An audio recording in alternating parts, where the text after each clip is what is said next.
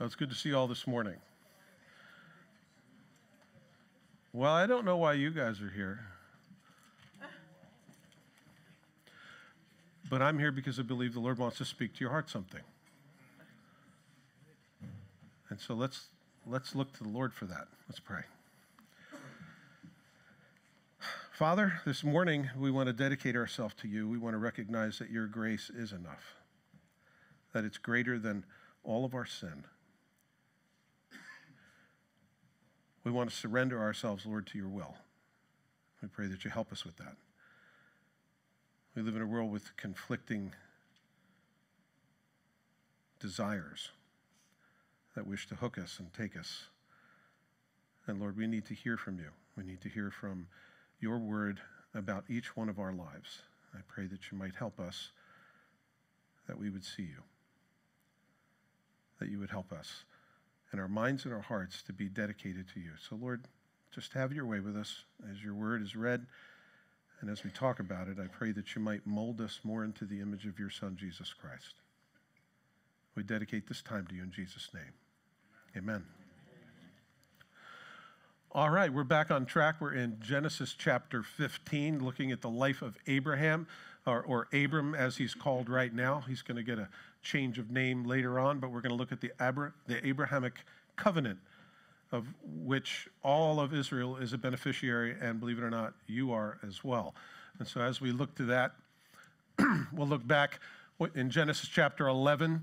We were looking at the initiation of God speaking to Abram, and he pulls him out of this Ur of the Chaldees, and he tells him, Get away from your family, get away from your country, get away from everybody. And he drags his dad and his nephew with him, and he, he goes upriver a little bit. And we see later on there's a difficulty, and once he finally gets there, there's trouble because there's a famine. And so now they finally get to the place where God's led them, and there's a famine. I don't know about you, but sometimes you feel like, wow, thanks, Lord. you get you get to a place where you think he wants you or maybe you've been saving for a new car for a long time and you go buy that new car and you get that new car and you park it one time in the parking lot and you come out and it's as far as you're concerned it's ruined because it's got a scratch because somebody didn't put their card away right? And i imagine that's how it felt when he was called out and he finally got to where he was supposed to be it ends up being a famine. So they leave and they go to egypt we realize that's not such a great thing because he goes to Egypt and he has to lie about who his wife is because she's apparently so beautiful that he's afraid he'll be murdered and they'll just take her as a consolation prize. Uh, but if he's her brother, then they have to negotiate with him. And so he thought that would be more advantageous. So he tells his wife to lie for him and say, You're my sister, which is kind of half true because she's like a half, she's a stepsister, a half sister. So then in chapter 13, we see Lot, who he's been dragging around. They finally have such a problem when they get back to the promised land. They have too much stuff and they can't live together. For those of you that are married, it's not a good excuse to separate from your wife or your husband. But they've got so much stuff, and God uses that friction to pull them apart so that Abram can do what God's called him to do, and, and Lot decides he's going to go into this well watered plain of Sodom. Uh, we know is not such a great choice later on. Last week, we talked about how Abram had to go and rescue Lot because there were four kings in the north that came and invaded these five kings along the, the valley, the, the Jordan Valley, and took everything wives, children, stuff, just destroyed everything and left. And Abram heard about this and he said, Oh, no, you don't. That's my nephew. And he gets 318 armed guards from his own household. That's a big household right there. 318 trained soldiers, and he's got a, he's got a couple of guys on either side of him who say, Yeah, yeah. And they decide to join him, and they go and they rescue Lot. They rescue all the stuff. We know Melchizedek shows up, and he brings out wine and bread, which is rather, rather interesting. And so we talked about Melchizedek. These five southern kings invaded by the four northern kings, and how there were tar pits where people fell into and actually died in part of this. And so Abram gets all of this stuff back and he chases them all the way back up north where they came from. And then he takes all of his stuff and he goes back and he's distributing to everyone as, uh, you know, the people that belong in those cities and he's giving everything back. And this guy shows up, Melchizedek, this king of righteousness, but he's also a priest of the Most High God. He's a priest and a king. And we looked at how the scripture separates those two the tribe of Levi and the tribe of Judah. The tribe of Judah would, the scepter would not depart from Judah, is the prophecy given that they would be the leaders, and the Levites would be the priests. You don't mix and match, and when you do, there's, God will smack you down for it. I realize I use vernacular that's not biblical. But you get it, right? Okay, good. I get too gutter, just let me know. He brings out wine and bread, and we see that in a couple of places. We see that certainly at the, the Last Supper when Jesus is there. In the, in the Passover, there's bread and there's wine. And then there's one other time when it's kind of mentioned, and it's with Joseph, because there's a cupbearer and there's a baker. And the cupbearer gets restored, which is after three days, which is an interesting three days. And then the baker ends up getting hung up on a pole interesting how both of those things speak of Jesus Christ and point to his sacrifice, which will be made much, much later as we look at Joseph.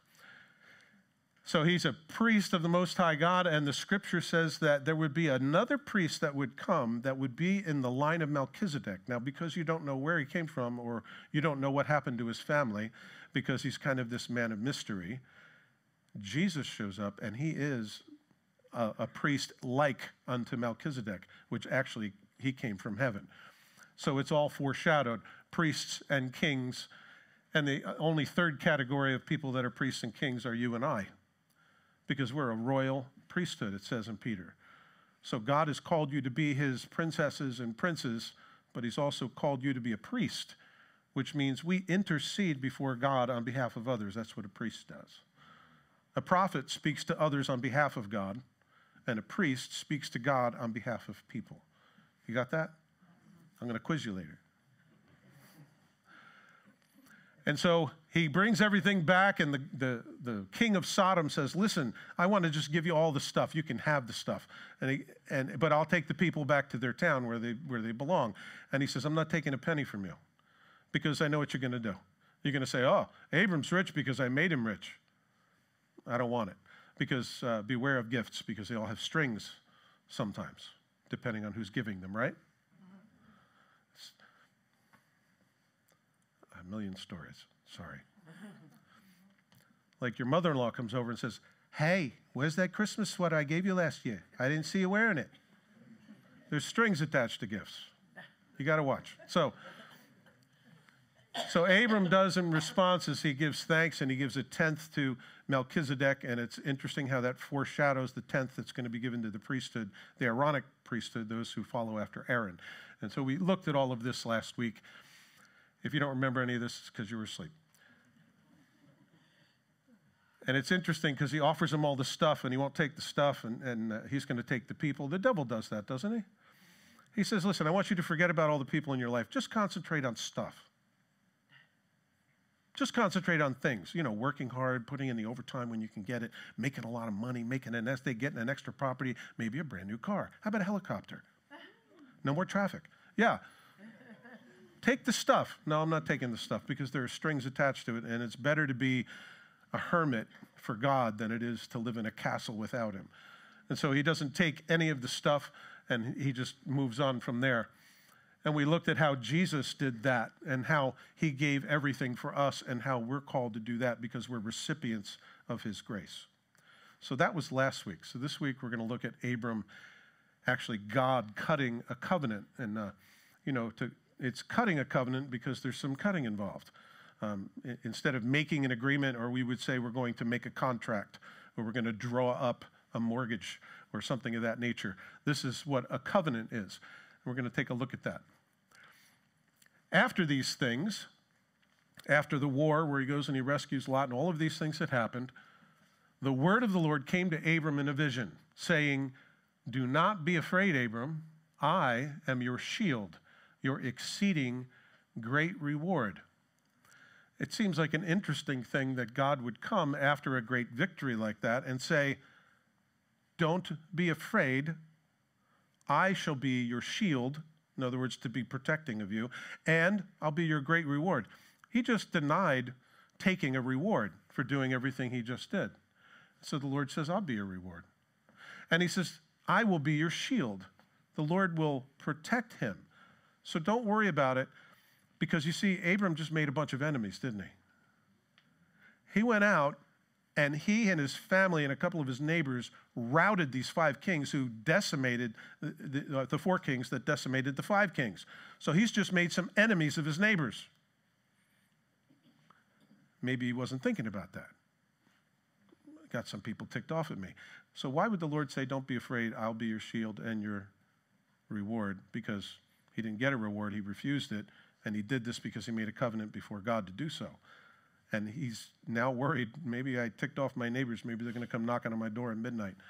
So the Lord comes and says, Don't you worry about that. After a great victory, there exists the possibility of great failure. You guys know what I'm talking about? You ever go on vacation and come home to a disaster? You ever go on vacation and go back to work and walk into a great disaster? Okay, some of you understand. Okay, sometimes after a great victory, there can be some difficulty uh, on the downside of that, and we tend to be made that way. And there are a couple of examples from the scriptures. If you know about Elijah, Elijah goes and it's this throwdown with the, the, the prophets of Baal. And he's like, Well, if your God is real, then have him bring some fire down on this sacrifice to show his approval. And of course, they cut themselves, they scream out to Baal. Baal doesn't answer because Baal ain't home. He's not there, he doesn't exist. And so he says, Okay. And they make the sacrifice and they douse it with water and they douse it with more water and they douse it with more water. And then he calls out to God and he says, Hey, God, show yourself. And this flame comes and it devours up the water and takes the sacrifice and makes a fire. And then Elijah says, Here we go. And he took out the sword and he goes, You guys are all a bunch of hypocrites. And he takes their heads off. It's a great, great victory. You got all these demonic dudes who are cutting themselves and trying to cry out to a God that doesn't exist, and he doesn't answer. Your God's false, and you, you're propagating a false narrative, if you will, fake news, taking you out. So he takes them all out. And then, of course, Queen Jezebel finds out and he says, May my life be like theirs if I don't make you dead like them this time tomorrow. And he goes, Oh no, I'm in trouble. And he runs away like a scared child. He runs into a cave. He goes under a bush and he says, Lord, just take me home. It's enough. I'm retiring officially from being a prophet. I'm done with life. Just take my life. He crawls up under a bush and he's waiting to die, and an angel comes and feeds him.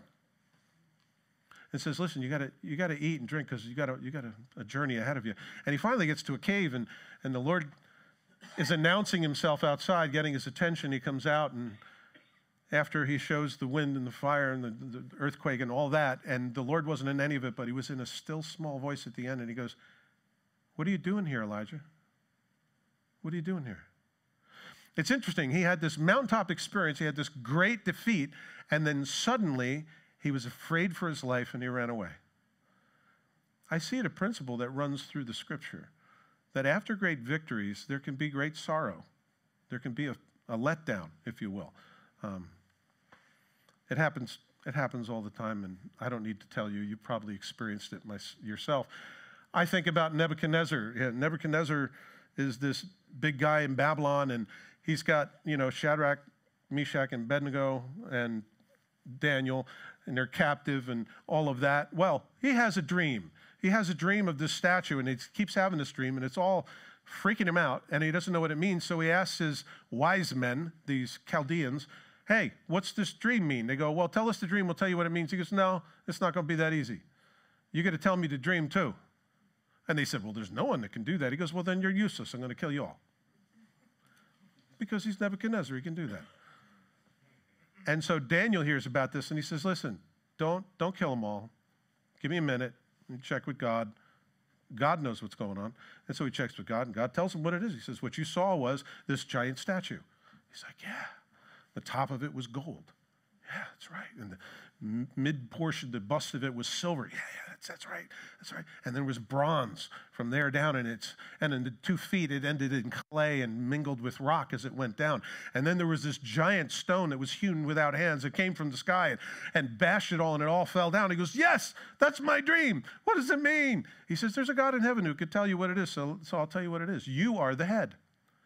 You're Nebuchadnezzar. Your kingdom is gold, and the silver is the next couple of kingdoms. And he goes all the way down, and, and there's this rock that comes from heaven that destroys it all, and it's basically the end of all the kingdoms of the world. And that's Jesus Christ, by the way. He's the one who's going to come again and will destroy all the kingdoms of the world. And after this, the very next chapter, after he hears from God, and he gets the answer he needs. He builds a giant statue of himself. And he requires everyone to bow down and worship it. What? You were just so scared for your life, you're going to kill all your wise men. And Daniel, this, this Hebrew slave that you have, he comes in and defines it for you. If I were you, I'd be a little more humble. But he kind of overshoots. And there's another time when Nebuchadnezzar says, you know, look, look at this kingdom that I have. Look at all that I've built. And the Lord says, uh, uh, uh. And he makes him like an animal for seven years. His fingernails got long, his hair got long, he didn't shave, he was ratty for seven years. That's a long time. And then he comes back, and finally, the Lord gives him sense, and he goes, Listen, God of Daniel, he's the real God. We need to be humble. But I see this gyration that happens. We have these high points and these great victories and these wonderful things, and then what happens is there's usually disaster on the other side of it. So uh, he's not the only one. I think about the disciples. The disciples, as they were on the Mount of Transfiguration when Jesus took uh, Peter, James, and John, uh, they were the special ed crew. He had to keep a close eye on. And they went up with him and Jesus is revealed in all of his glory, brighter than the sun. They can't look at him. And he's up there with Moses and Elijah having a conversation about what's going to happen. Jesus is heading to Jerusalem to die. And Peter, struck by this, says, Lord, it's good that we're here. Let's build three booths and we'll just stay up here. And God the Father has to show up in a cloud and say, Hey, this is my Father. This is my Son. Listen to him. and they looked up from where they were, and suddenly everything was back to normal. Jesus said, Come on, we got to go. And so they go down the mountain, they get at the bottom of the mountain, and there's this kid who's possessed by a demon. And his parents bring him to the disciples, and immediately Jesus is hit with all these complaints. Your disciples don't work. There's something faulty with them because they can't cast this demon out. And they, they complain and they say all the things that's going on. Jesus asks a couple of questions and he casts the demon out and the demon's gone. And the disciples are like, well, what, what's going on here? You know, we couldn't do it. The amazing thing is, they had this wonderful mountaintop experience where they saw the Lord and they come down and suddenly there's all this mess going down in the bottom of the hill. I noticed that those high spots and those low spots tend to be close to each other. Have you noticed that? I'm going to have a great vacation. It'll be wonderful. Well, you know, when you come back, you know, your faucet broke, your house is flooded, you know, like something happened. Don't be surprised. Use those times to be fortified so when those things happen, you don't lose it. So, also, the disciples, what am I doing? You see, every once in a while I mess up. I think I'm on number 12 today. I think about Peter, who was called out of the boat. And Jesus called him out of the boat and he was walking on the water. I would say that's a pretty big high point in someone's life if they can walk on water, right? And he begins to look around and he begins to realize, hey, I'm doing the impossible. I shouldn't be able to do this. and down he goes to the point where Jesus has to reach down and pull him back up. And he was like, You were doing well. What happened? Jersey version. What happened? What's wrong with you? He began to look at the winds and the waves, and he wasn't looking at Jesus. And it's the same thing happens to us, isn't it? So I see sometimes great victories are followed by depression, sometimes, or uh, great disappointment, or great challenges. And so after this great victory, the Lord comes to comfort Abram and say, Listen, you don't have to worry about people finding you or putting a hit on you or any of that kind of bananas. I'm going to be your shield and I will be your great reward. I think about another one with Peter when they were at the Last Supper and Jesus said, One of you is going to betray me. And they all to the man said, Not me, not me, no way, no way, Lord, not me. And Peter said, Listen, if everybody leaves you, I will never leave you. And he made himself very loud. And he says, Yeah, you're going to deny me three times by the time morning comes. When you hear the cock crow three times, you're, you're going to deny me three times. And that's exactly what he does. And on the third, Jesus made eye contact with Peter because he was at the place where this was happening. And he ran out and he wept bitterly these big attestations. I, I, I, picture Peter being a big, big man for lots of reasons, but he's making these big, hey, I'm gonna, I'm, I'll never leave you, Jesus. No way, I'm your man. You know, I'll always back you up. And then he fails three times. Once to a little servant girl. He won't admit that he knows Jesus. And I see that sometimes great mountaintop experiences are followed by great disaster.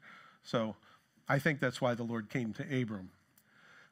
and Abram said, Lord God, what will you give me, seeing I go childless? So he's going right to the great reward part. And the heir of my house is Eliezer of Damascus. And then Abram said, Look, you have given me no offspring. Indeed, one born in my house is to be my heir. So the Lord says, I'm going to be your shield and your reward. He goes, What's a reward? What's that mean? Because I've got nobody to leave it to. At this point, he's like 80 years old. And God promised previously that he would have an heir, he would have descendants, right?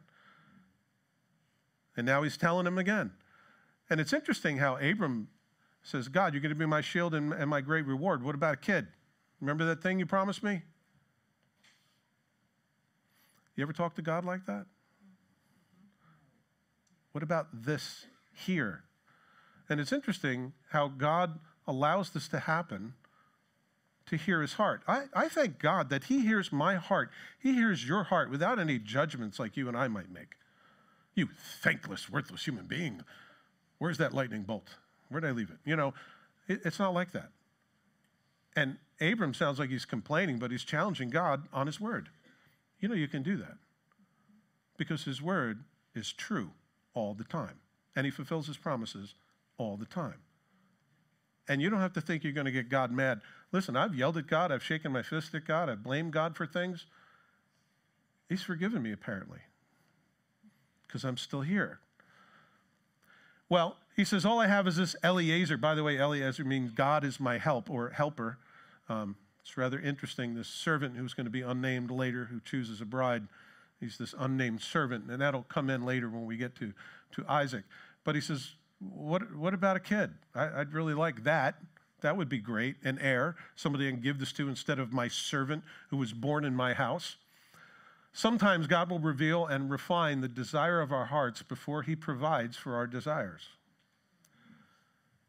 Sometimes He will intensify and refine a desire that's in your heart because He wishes to satisfy it. I think about Adam. He creates Adam.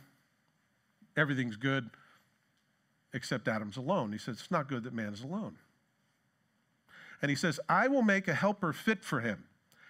And then he brought him all the animals. It's like pausing for a commercial almost. And all of the animals go before him, and whatever he called it, that's what he named. Okay, you're an elephant because you got a big long nose. You're rhino because you got a, you're, and male and female giraffe, and a male and female, male and female. Everything's male and female, except there is no suitable helper for me. You see, God revealed and refined his need so that he realized he had a need. So when the woman showed up, he goes, What's she doing here? I don't need her. I don't need anybody except for this lamp. You know, I, it, it's not like that. He refines these desires and brings it to the place where you now know that you have a need, and it's a deep need. And God does that on purpose sometimes. So when you get to the place where you're ready to actually pray about the thing instead of complain about the thing, it might be that gets exactly what God's trying to do get you to pray. In Jeremiah 29 12 and 13, you guys all know 29 11, right? I know the thoughts that I have for you. You guys know it. I'm sure you have it at home, hung on a wall somewhere. Well, these are the other two verses. Then you will call upon me and go and pray to me, and I will listen to you. And you will seek me and find me when you search for me with all your heart. God says, when you seek with all your heart. You see, these desires get revealed and refined by God to the place where, okay, now when I answer this, this is not going to be an inconvenience or some thankless gift that's given to you. It's going to be something that you're truly appreciative for. I grew up poor. I used to pick garbage. I'm still a garbage picker. I, I drive by garbage. I'm like, I just do. I drive by dumpsters. I, you know, I'm looking over the top. I, I have no need. I need nothing. But I, I, I'm always on the hunt.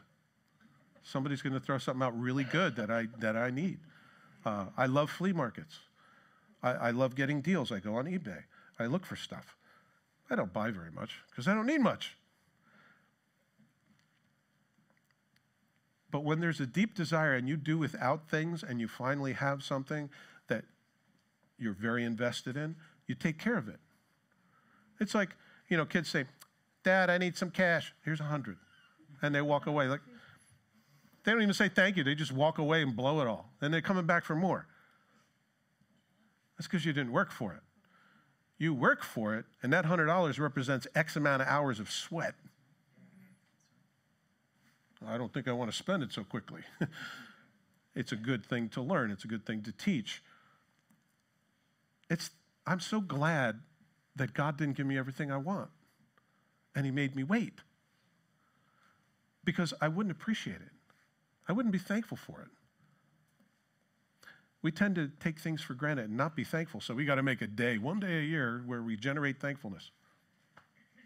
I pray every day will be Thanksgiving for us. And behold, the word of the Lord came to him, saying, This one shall not be your heir. So Eliezer's not going to be the guy, but one who will come from your own body. Now, like I said, he's in his 80s, right? He shall be your heir. And then he brought him outside and he said, Look now toward the heaven and count the stars if you're able, and number them.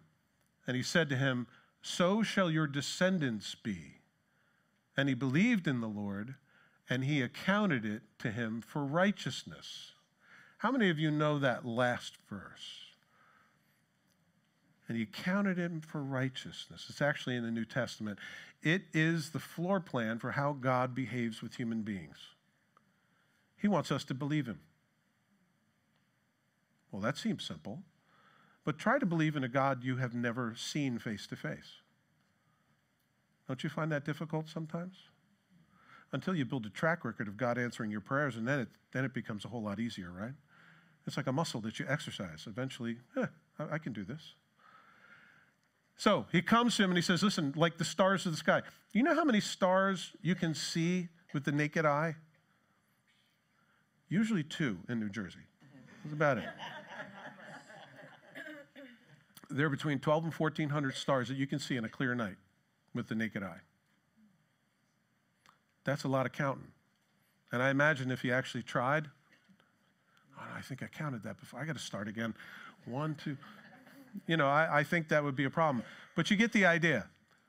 You see the stars? That's how many offspring you're going to have. So don't, don't worry that you're not going to have an heir. You're going to have tons and tons. And because he is the first one who believes God and it's accredited to him for righteousness, in other words, he put it on his account that he did the right thing. And now, there, now he has a relationship with Abram. Abram becomes the father of every faithful person, every person that exercises faith in Jesus Christ and what God has done. He's the first guy that ever believed God. And it's accredited to him for righteousness before he ever does a thing. He doesn't do anything other than believe God. This whole having faith in God being enough, That started a long time ago in the Old Testament. It started with Abram. By the way, he was uncircumcised, which means he didn't do anything. I mean, he didn't do anything that the Old Testament is going to service and say you have to do. And yet, God accredited righteousness to him. You know what righteousness means? It means being dressed rightly. Wow, I didn't get that from the word righteousness, but that's what it means. In Genesis 13, 16, he told him this earlier, and I will make your descendants as the dust of the earth, so that a man could number the dust of the earth, then your descendants could also be numbered. So he said this before. God's just saying, I guess he didn't get it. I have to use another, you know, metaphor. And so he says the stars. And it's interesting, Jesus teaches like that too, right? He's in a field and he says, Consider the lilies of the field, how they grow. And he says, Look at the birds of the air. They don't toil or spin. He uses all these wonderful examples. If, if you're a teacher in any way, shape, or form, it's good to use what you have around you, right?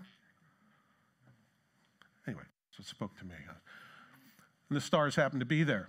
And in Genesis 22, 17 to 18, the Lord says again, Blessing I will bless you, and multiplying I will multiply your descendants as the stars of heaven, so he repeats it, and as the sand in which is on the seashore. And your descendants shall possess the gate of their enemies. And in your seed, all the nations of the earth shall be blessed. By the way, who's he talking about? In your seed. Notice it's not seeds, he didn't say descendants, he said seed. Jesus is the seed who comes. In your seed, all the nations of the earth will be blessed because you have obeyed my voice. Now, he's blessing him later in chapter 22 because of obedience, but previously, it was just because he believed him, period. There's righteousness attributed to him because he believed. God doesn't want you to be a good person because it's not good enough. God doesn't want you to hurt yourself, sacrifice, do penance. He doesn't want any of that. He just wants you to believe Him. Can you do that? You would think. You would think it's such an easy thing just to believe what God says. Well, first of all, you got to open the book and see what He said before you can believe what He says. But it's faith. We are saved by grace through faith. And that's not of ourselves, it is a gift of God so that nobody can boast. It is a gift from God. But then we need to exercise that faith, don't we? Even as Abram does. Faith comes by hearing, and hearing by the Word of God. If you want to increase your faith, you know what to do, right? Just read the Word. He believed the Lord and he accredited it to him as righteousness. And they said to him, John 6 28, then they said to him, What shall we do that we may do that we may work the works of God? And Jesus answered and said to them, This is the work of God, that you believe in him who he sent. And who's that? That's Jesus. So Jesus boiled it down. I say, listen, what do we have to do to be right with God? Well, you got to believe in the one whom he sent. That seems simple, right? If you ever have to share the gospel with somebody, you could get into like a big, complicated explanation. Or you could just keep it really simple and said, to do the will of God is to believe in the one whom he sent, who's Jesus Christ, the Son of God, Messiah. Right? Any of you ever doubt your salvation? Don't raise your hands. You should all be raising your hands.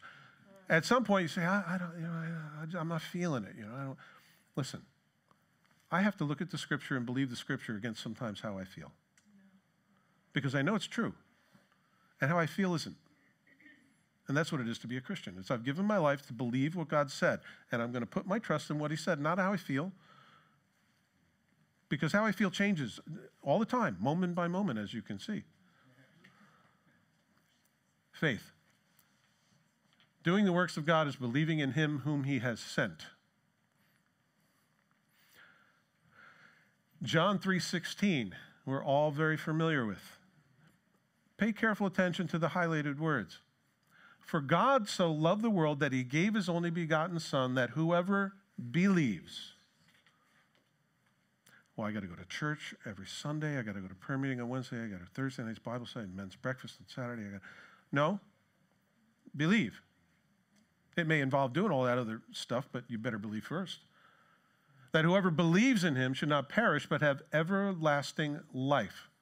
For God did not send his Son into the world to condemn the world, like the world thinks, but the world through him might be saved. He who believes in him is not condemned, and he who does not believe is condemned already. By the way, you're not condemned because you sin, you, are condemned because you're a sinner and you sin.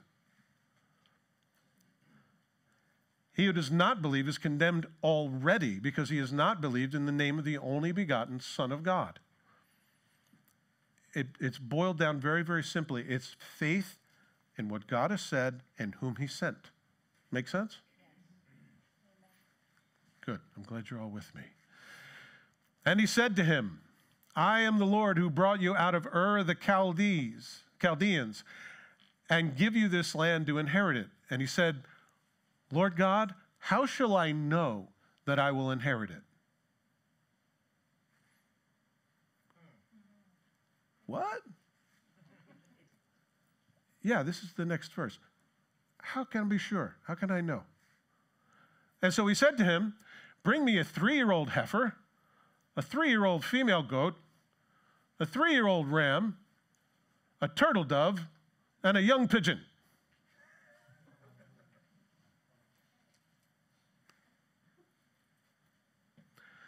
Now, I'm sure you've read through this before and you've never seen it look so ironic.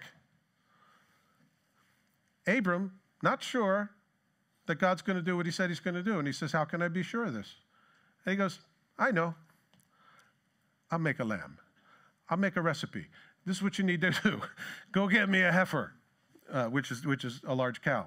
Um, go get a she goat and get a male goat and bring me a pigeon and a turtle dove.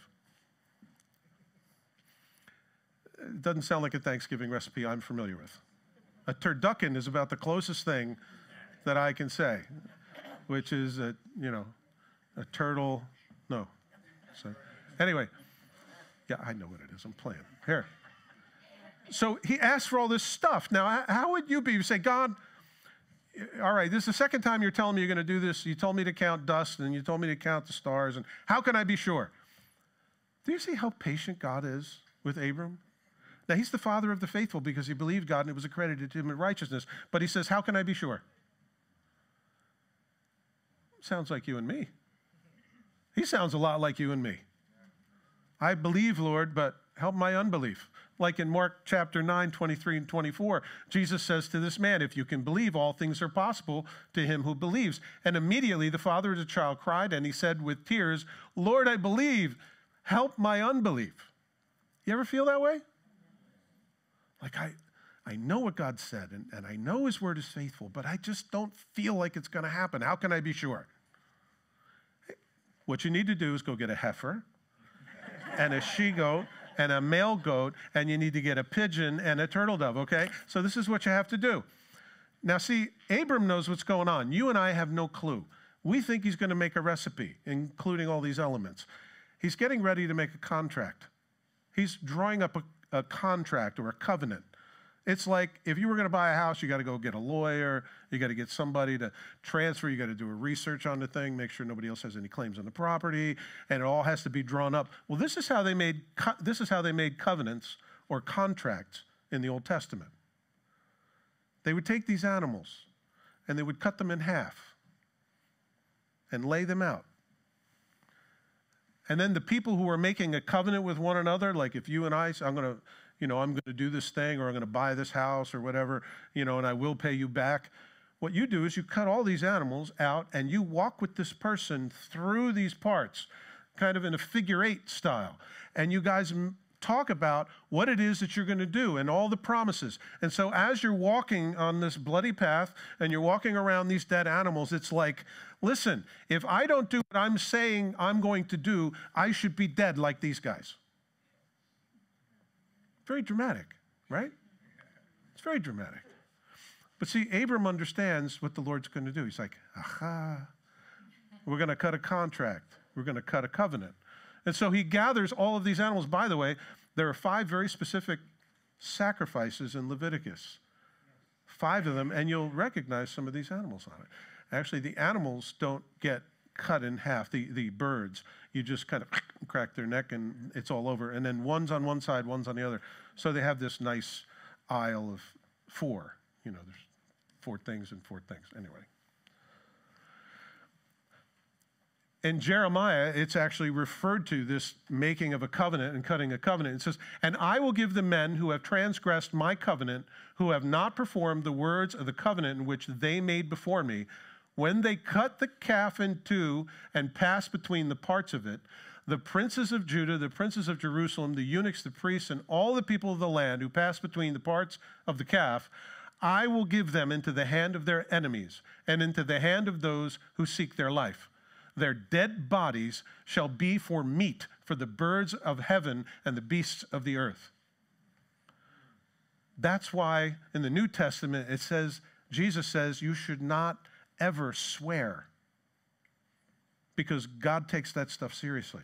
You shouldn't swear by heaven because that you don't you, you know that's God's throne and you shouldn't swear by the temple and you shouldn't swear by the gold and you shouldn't swear by you shouldn't swear anything because you don't you don't know what's going to happen tomorrow, right? Hey, I'll see you tomorrow at 2 o'clock. How often does that happen? How many of you are on time all the time? See, that's what I'm saying. You can't swear anything. You can't be sure of anything because life has a way of making it difficult. Like uh, the other day, there was a big accident on 36, and a lot of people couldn't get through and get here on time. You know, I could have said, aha, you're late. You know, why would you do that? Because you yourself suffer from the same issue. You live in this world. God says if you make a covenant before me and you don't do it, you're going to be like the animals that you just walked through. Okay, so this is just a, a recording of uh, this kind of a contract that gets pulled. And then he brought all of these to him and he cut them in two down the middle and he placed each piece opposite the other but he did not cut the birds in two. And when the vultures came down on the carcasses, Abram drove them away. So he's got this big mess. And now the birds of the air are suddenly catching wind of what's going on. And so they're going to swoop in and dive down on this, but he's in the middle of cutting a contract with God. He's waiting for God to show up. Because you can't cut a contract by yourself. You have to cut a contract with the person you're making a contract with. And God is the one making the covenant, right? So he's waiting for God to show up. By the way, in the past, he did show up and he spoke to him. So he has reason to believe that God's going to show up. But sometimes we do everything that God says and he doesn't seem to show up. It actually takes between 24 and 48 hours for vultures to be able to find carrion or dead animals. They can smell for miles, they can smell blood. It's an amazing thing. Well, they're the cleanup crew. You know, God's equipped them, they're good. So you get all these animals that are coming around, and Abram's like shooing them away and, and keeping the vultures away. And, you know, you're, you're over here, and, you know, they're trying to pick up your turtle dove and take off. And, you know, you, you can imagine all of the mess. He's trying to make a covenant with God and God doesn't seem to show up right away. And so it involves some patience, and I think his faith is tested at this. And he's now chasing away these birds. It's interesting how God uses symbols throughout the scripture very specifically. And very often, birds are an, uh, a form of the enemy. Uh, you know who that is, right? He says, you know, it's like it's like uh, the, the, the the man who went and scattered seed, and some of it fell on the path, and the birds of the air came and took it away.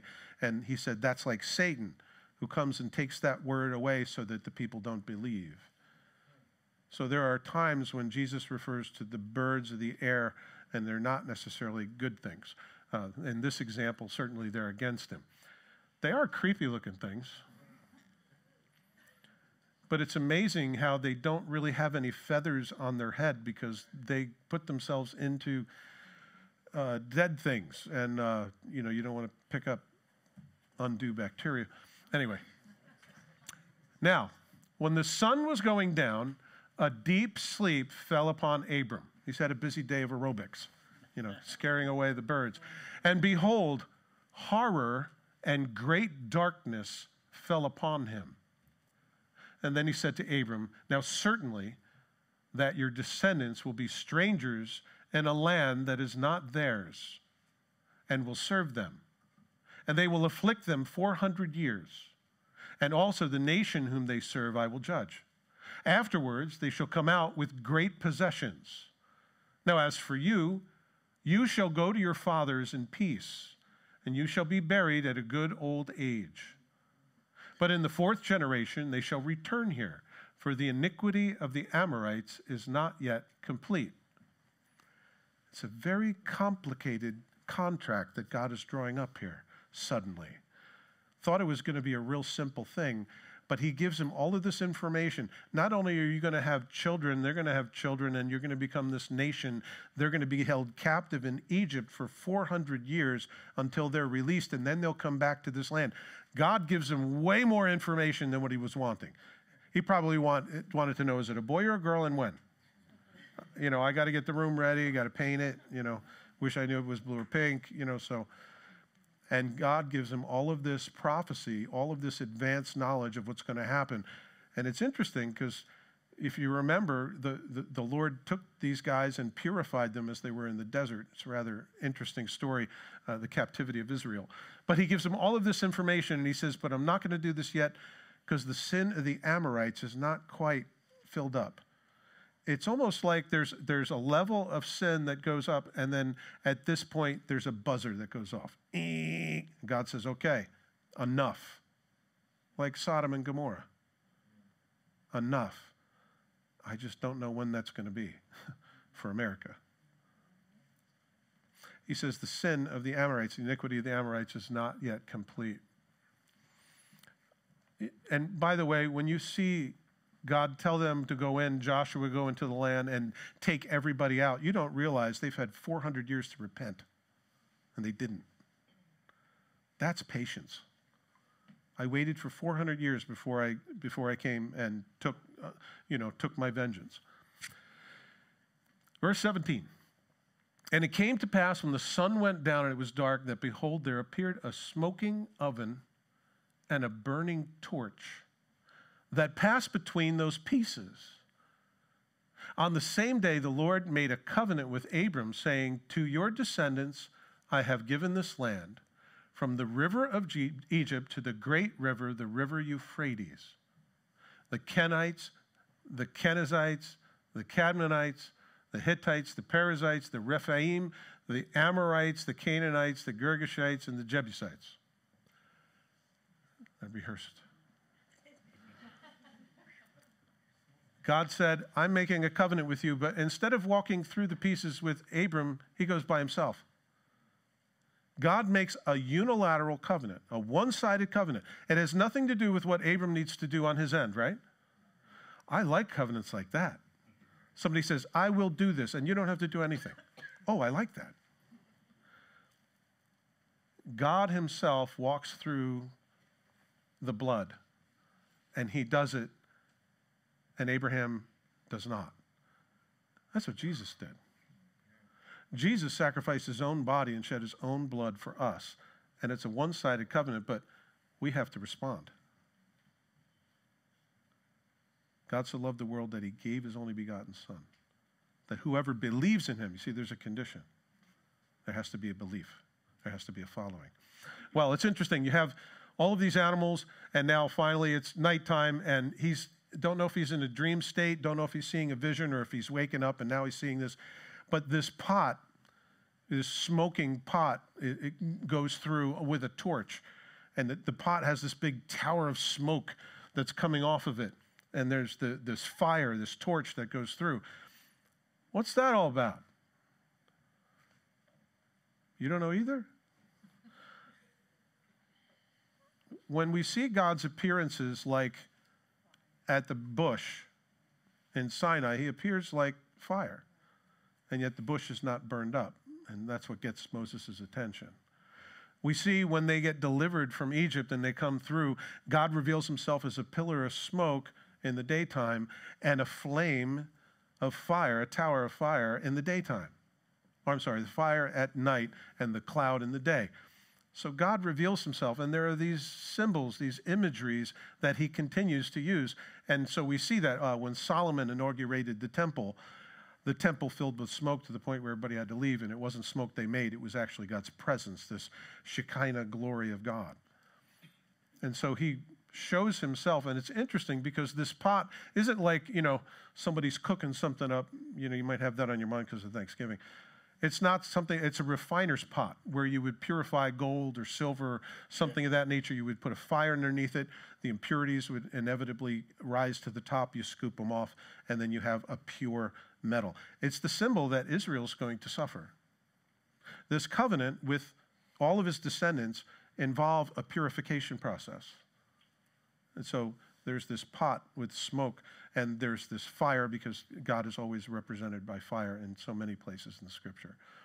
So God makes a one sided covenant with Abram and says, I'm going to do this. And the ones that are for you, I'll be for, and the ones that are against, I'll be against. That's why it scares me when I start to hear America pulling away from Israel. Because God says this land is theirs, including what they call Palestine all the way to the river Euphrates. By the way, have you seen the Euphrates lately? It's drying up.